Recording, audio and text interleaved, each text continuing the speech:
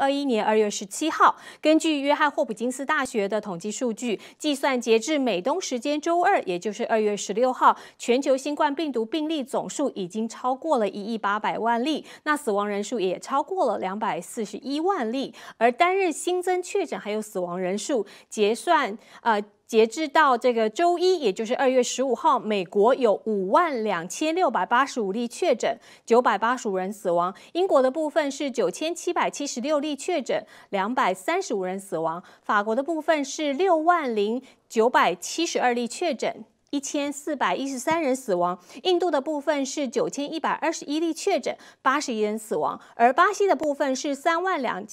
三万两千一百九十七例确诊，五百二十八人死亡。来到亚洲日本的部分是九百七十三例确诊，七十二人死亡。而中国官方的通报疫情数据受到外界的质疑，因此我们这里暂且不报道数据。那因为疫情再起呢，在这个特殊的时期，我们推出健康一加一抗疫身心灵的系列直播节目，希望能透过专家来自不同面向的分析，随时来陪您追踪疫情，陪伴大家平安度过。每周二到周六早晨九点到十点，我们会邀请。请专家来坐镇直播，即时回复大家的提问。同时提醒大家，请关注新唐电视台 ntdtv.com/health 以及大纪元健康频道以及大纪元直播频道是 appletimes.com/live。那您如果正在收看 YouTube 的朋友，请记得订阅健康一加一 YouTube 频道。那你可以留言、按赞，并且打开频道订阅哦，有一有个小铃铛，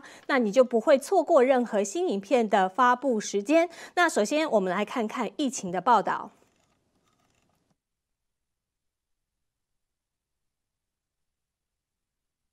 感觉不接种新冠病毒疫苗，感觉不适甚至死亡的病例是越来越多。在近期，西班牙一家养老院的七十八名老人在接种第一剂辉瑞疫苗之后呢，竟然全部检测出阳性，而且有七人死亡。另外，美国加州再添一个死亡案例，这个人在接受疫苗之后呢，猝死了。根据西班牙官方的通讯社艾菲社报道，位于西班牙托莱多省的。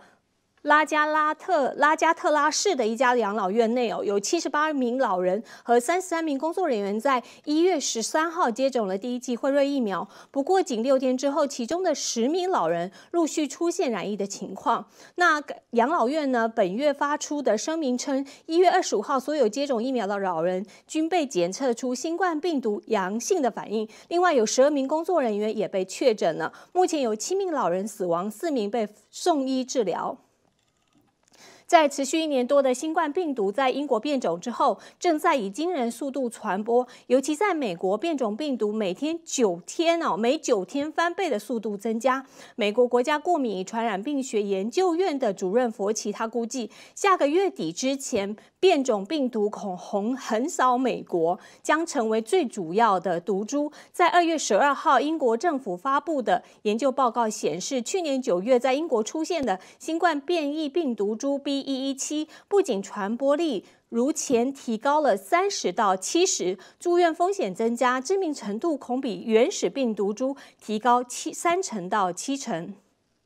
好，接下来看到是疫苗的部分，强生公司制药公司最近有宣布自行研发的新冠病。毒疫苗在三起临床试验的主要疗效和安全性数据，并已提交 FDA。FDA 将在未来几周内对数据进行审核，决定是否来批准它上市。一旦被批准，强生公司已经准备最早是在三月上旬就可以分发疫苗。强生制药公司采用这个专业的。病毒载体技术诱导人体产生强效还有持久的免疫反应。在美国的疫苗临床试验中，总共有四万三千七百八十三人参加，有四百六十八例出现感染症状。那另外，生物科技公司诺瓦克呢，在周一，也就是二月十五号，告诉媒体，这些科学家们正在实验室中测试新的。冠状病毒疫苗新版本，那该疫苗专门研发针对南非首次发现的冠状病毒变体。好的，那接下来欢迎观众朋友，您可以加入我们今天的直播，在留言区留言跟我们互动。今天新闻我们有谈到，全球是笼罩在疫情之下，还有家暴事件频传哦。日本民众自杀率是攀高了，那民众对于哪些情绪还有精神压力，到底要怎么解决？那接下来就要谈谈强生公司提交 FDA 的疫苗审核，这款新疫苗跟 RNA 疫苗有什么不同？那对人体的作用到底还有哪一些？生物科技公司正在研发新款的疫苗，针对南非变种病毒。这些议题，我们今天都会跟专家讨论。好的，介绍今天直播间的嘉宾。第一位是前台大医院精神部兼任主治医师黄伟立身心，他同时也是黄伟立身心诊所院长。黄伟立医生，黄医生你好。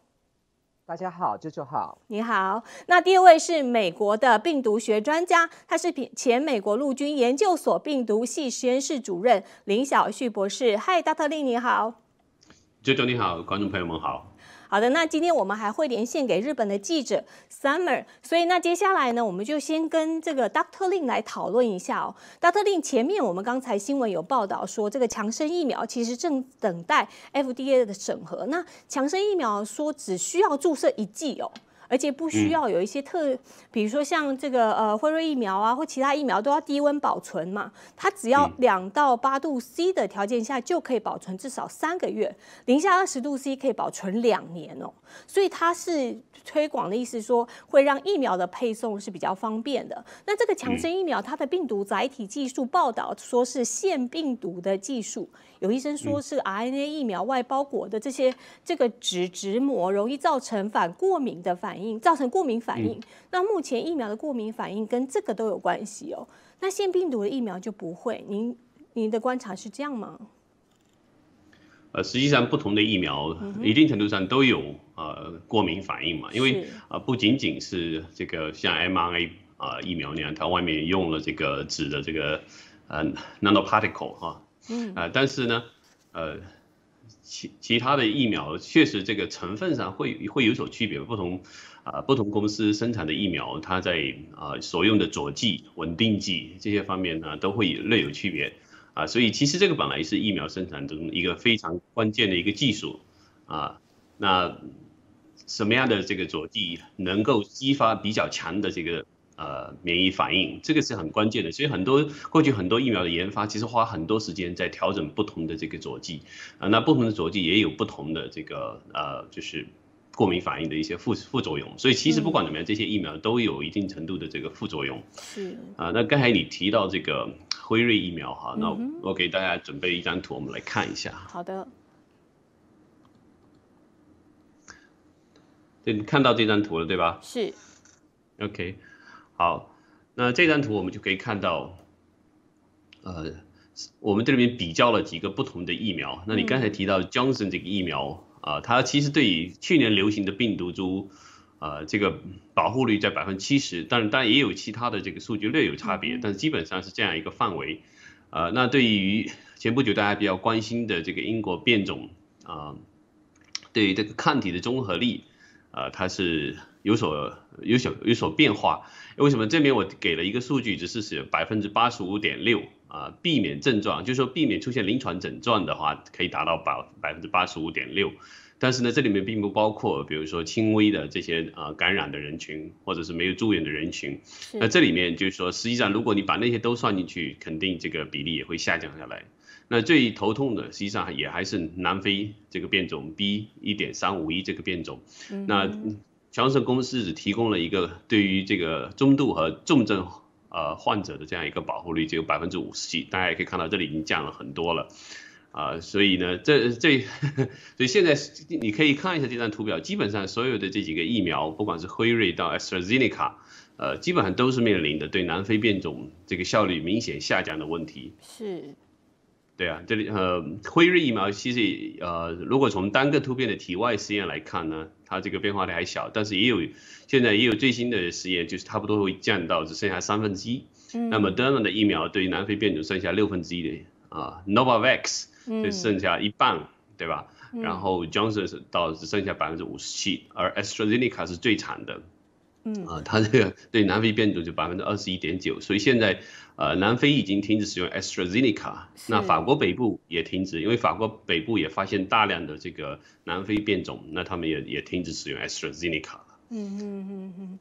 那现在目前呢，我们可以看到就是每个疫苗的不同的它的对比性嘛。那但是现在就是我们谈回来关于这个 Johnson 的疫苗，因为我们知道现在有好几支疫苗在线在线上哦，有些都会更新嘛哈。那现这个嗯，就是这个强生疫苗，它现在有性，就是它跟 RNA 疫苗有一点不一样，因为它叫腺病毒疫苗。那我们就想要了解，就是说，哎，腺病毒疫苗它的安全性又是怎么样呢？它可以，它可以。对抗这个 COVID-19，但是对于这个安全性，民众的人体的反应是又怎么样的呢？这是不同的这个疫苗的开发的技术哈，那它是确实是基于这个腺病毒啊作为一个载体，那这个腺病毒呢，它是呃能够感染啊 chimpanzee 啊就是大猩猩的这种腺病毒。啊，那本身也是啊活力减弱的一个啊腺病毒的一个变种，然后以这个变种作为基础，在这上面把这个呃腺病毒的这个表面蛋白把它换成啊这个 COVID nineteen 的这个刺突蛋白，嗯哼，啊那这样子就说等于说你有了一个病毒的载体，那同时呢这个病毒呢本身复制的功能又进一步把它破坏掉，所以这个病毒能够载着你这个 啊 COVID-19 或者是 SARS-CoV-2 的这个刺突蛋白的 DNA。然后进入到啊，比如说感染一个细胞，那么它会造成一次性的这个表表达这个刺突蛋白，对吧？这是 COVID-19 的刺突蛋白，但是呢，这个病毒本身并不会复制，所以。啊，就说相对来说，当然这种已经丧失复制功能的这个病毒了，当然对人体来说相对也是安全的。但这里面其实牵扯到一个难度，就是说，呃，对于人体来说，你这个呃大猩猩的这个腺病毒也是一个外来物，所以人体的很多的这个免疫的反应变成是针对这个腺病毒本身去了，所以有很多的这个免费呃这个。有很多的免疫资源实际上是浪费掉了，嗯，对吧？真正呃呃能够有效针对刺突蛋白的这个免疫反应，只是其中的一部分。那呃相对来说，因为它是一个呃 DNA 形式的这种病毒嘛，所以呢它相对来说比较稳定，所以这个呃疫苗呢是可以在这个呃就是呃一般冰箱温度就可以保存，啊，那这个价格也会偏低一点，因为它只有一剂嘛，所以它的价格也比其他的这个疫苗有。有竞争性，啊，所以相对来说，当然在推广方面，在特别是一些啊发展中国家的话，你要推广这个 Johnson 的疫苗有有好处，但是 Johnson 的疫苗开发的时间稍微啊比其他的疫苗慢一点，所以它现在在美国还没有，呃，就是正式获得批准啊，但是呃，但是很快，我觉得这个过程也会很快，因为很明显的，呃，就是其他几个疫苗的这个针对变种的这效率更低啊，所以 这个这个也是。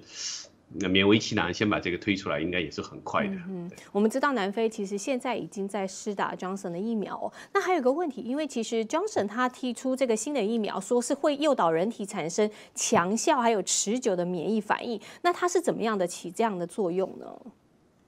这个目前其实临床的数据都还不足以说它是很很持久的，强效当然是呃有一定的，你可以说是强效嘛，但是实际上我觉得这个保护力都是啊打折扣的，包括我刚才给你看的这个数据，基本上只有百分之七十左右啊有，因为它有不同地区的这个临床实验数据还略有一些差别，但是基本上也没有达到 mRNA 疫苗那样百分之九十五这样子的。啊，左右的这么一个这么高的一个保护率，那这里面也牵扯到，就刚才提到一个最关键的因素，因为人体的这个免疫系统针对这个疫苗的很大的这个努力都变成没有用的啊，是针对这个呃腺病毒本身的，所以呢，这个疫苗的保护率不可能是太高的，呃，所以呃，所以当然这些疫苗公司嘛，在媒体宣传方面呢，都当然都会强调这个比较的 比较。啊，强大的比较持久的，但是这个持久目前因为也只有几个月的时间，所以很难说是持久的。没有任何一家疫苗公司有，呃，就是超过啊半年或者是九个月的这样的这个呃抗体的持续性有效的这样的数据，呃，所以我觉得这个说的话都呃缺乏一定的严谨性，毕竟是媒体的报道。嗯，那有一个有一个点，他其实有提到，就是说他预防中重症的能力有效率是百分之六十六哦。那我就想请教 Dr. Lee，这是什么意思呢？那就是说，呃，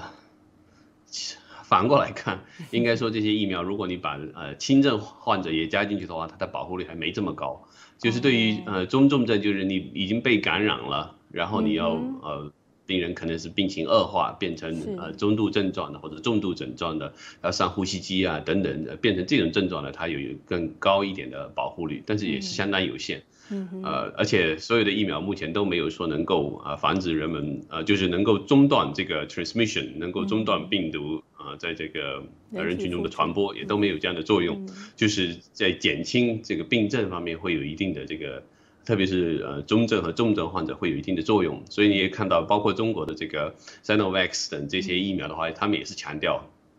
对中重症患者会有一定的保护作用。啊，这个其实就是说疫苗整体效果并不那么理想的时候，就说你你把它这个指标把它范 把它指标范围更更更狭窄一点，呃，那么你就可能说，哎，对于中重症有一定的保护的作用。但是你想打疫苗的人。有多少人一定会爆发这个中重症呢？就很难说嘛，对吧？所以我觉得这个就是说，也是一定的，啊，这个疫苗界的一种常 常用的潜规则。嗯，但是如果这样来看哦，说等于是您刚刚有提到说，如果加入轻症的话，它可能这个数字会有改变，那它对轻症的防御效果又是怎么样呢？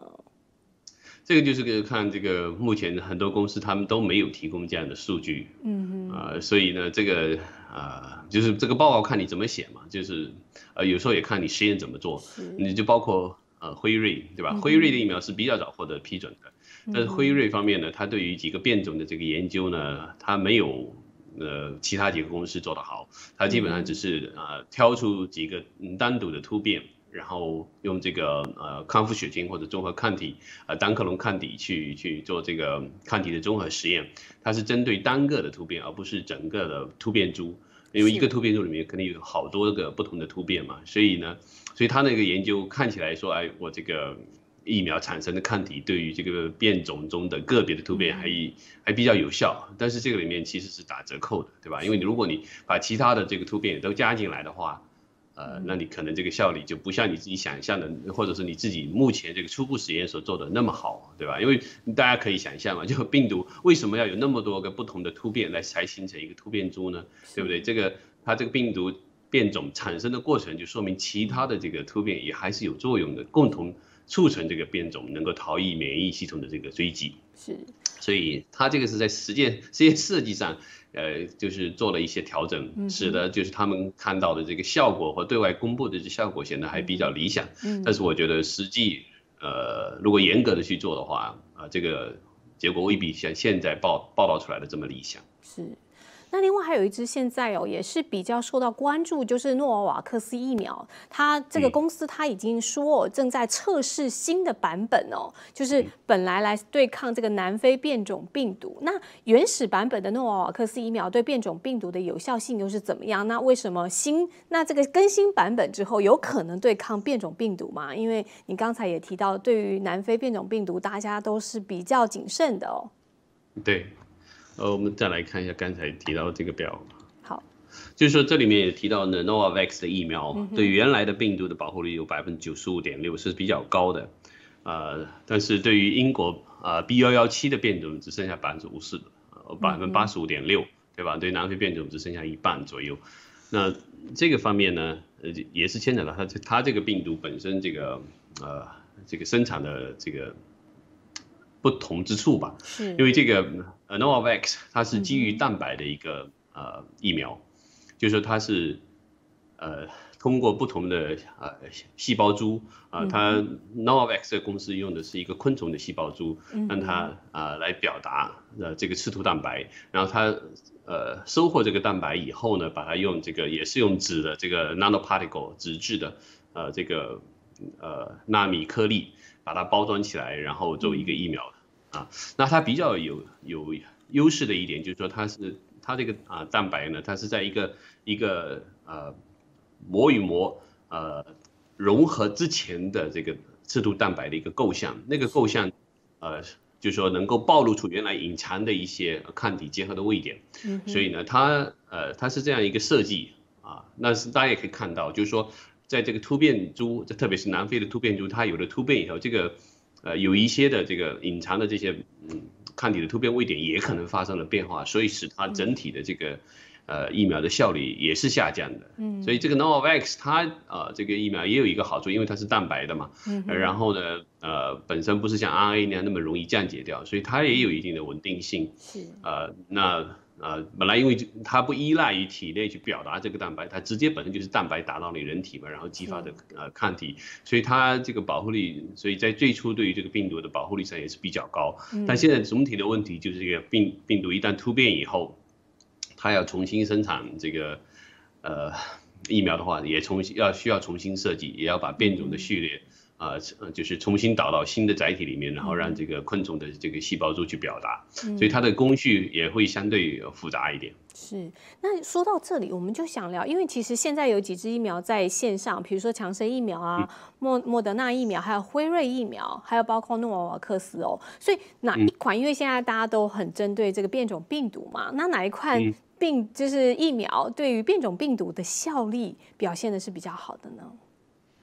其实这几个疫苗现在都不理想，对于南非变种都不理想，对于英国的变种 B 幺幺七的倒还好一些。呃，像 Novavax Johnson 的疫苗都还可以。嗯啊，但是呢，对于南非变种的很多都呃，应该说在是这个。呃，世界卫生组织的百分之五十标准以下，即使是 Johnson 的疫苗，他说中对于中重症是达到百分之五十七，呃，如果把轻微症状加进去，可能也不到，所以这里面就是说，呃，基本上没有哪一个疫苗对于这个南非的变种呃特别管用。嗯，了解。我想大家还在很努力的看看能不能看怎么样来应对这个南非变种病毒哦。那还有现在就是因为在二月十四号嘛，就是。前天在纽约发现了这个新冠状变种病毒的病毒株，也就是 B 一二五六二六呃五二六。那这一款就是可不可以跟我们更新一下这个 B 一五二六这个新的变种病毒，它是什么样一个特性？它传播力又是怎么样的呢？好的，呃，这方面我也准备了一个 slide，大家看一下哈。那这里面实际上是比较了两个呃变种，那。纽约的这变种现在叫 B 一点五二六，是啊，那跟它很接近的，呃，就是命名上比较接近的是 B 一点五二五，这个是英国也是最近比较引起关注的一个变种。它实际上在呃 Nigeria 之前就已经有发现过，那现在当然也有十几个国家有有报道关于这个变种，啊，那它和纽约的变种最关键的一点的。呃，相似地方还都是这个一四八四 K。我之前的节目中我们也提到过这个变种嘛，这个变种呢就是能够造成呃免疫逃逸的这么一个突变。嗯。那啊有了这个变种以后呢，有这呃有这个突变以后，确实对于啊整体的防疫带来非常大的挑战。因为南非的变种就出就是最主要的是这个变种，还有一个呃在四幺七位点上的一个变种。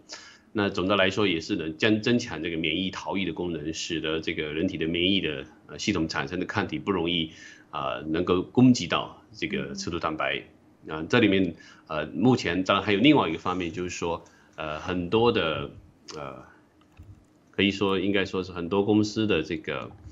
他们生产的呃这些疫苗的话呢，对于呃人体里面激发的这个杀伤性 T 细胞的这个。呃，反应，特别是对变种的反应，这方面的数据都还没有出来。嗯，因为基本上这个免疫系统两方面的这个作用，对吧？一个是抗体的作用，一个是杀伤性 T 细胞的作用。嗯，那嗯，现在基本上还局限在对于这个综合抗体的这个评估上面哈，对于变种有没有什么样的变化？但对于 T 细胞的作用还还比较欠缺啊，这个方面数据还没有出来，因为这个研究方面会相对难一点啊。但总的来说，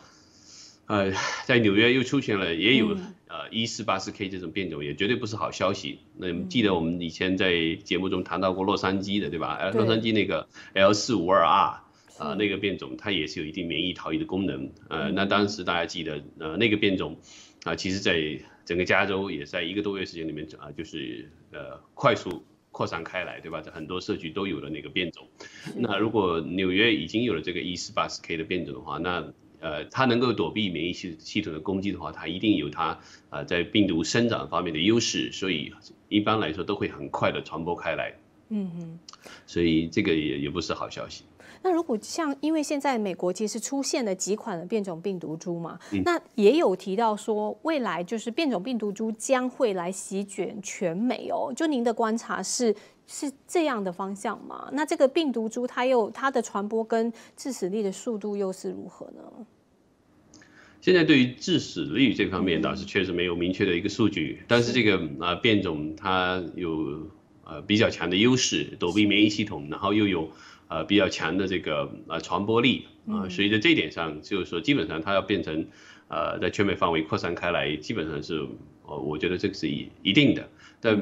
美国现在当然除了刚才提到的纽约啊、洛杉矶啊，那还有 Ohio 这边等啊发现的呃 Twenty C 啊这个这方面的这个变种。那这些变种的话，你只要有足够的优势，它它一般来说都会在几个月内变成最主要的流行病毒株，那就是看哪个更强。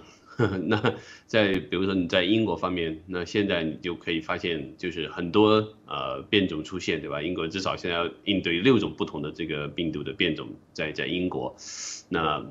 到底哪一个最后能成为最后的王中王？不知道，嗯，对吧？嗯，但总的来说，病毒肯定是在这个呃迅速传播的过程中，在寻找最合适的这个变种。嗯嗯，我想现在就是，嗯，现在因为整个疫情哦来看，总体来看，尤其我们今天报道的这个数据上来看哦，这个确诊的人数跟死亡人数其实都有大幅的下降哦。就你的观察，目前这个下降的数据是表示我们可以期待它更下降呢，还是我们有一些？另外的，就是因为昨天的专家也提到，就是它有可能是在暴风雨前的一个宁静。那您是怎么来看的呢？呃，总体来说，呃，这个下降呢，你也是就是一个阶段性的。嗯嗯。呃，你在十一月份、十二月份、一月份有了一个高峰以后，那么很多地方当然采取了更呃强硬的一些呃这个。管控的措措施吧，是对吧？然后呢，啊，也有很多地方的这个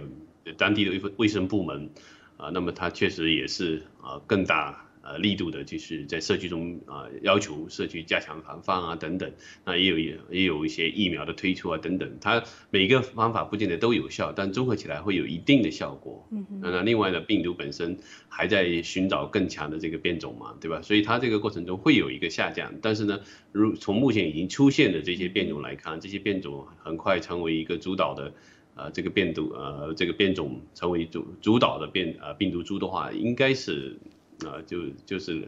两三个月之内，应该会会会发现一个大的变化嗯，所以我觉得另外一波还会来的。嗯哼，所以我想这样子来分析之后，民众可能针对目前这个确诊人数下降哦，可能还是还是要特别的谨慎哦，并不能太掉以轻心。所以今天非常感谢 Dr. Lin 带来这么详细的解析，谢谢。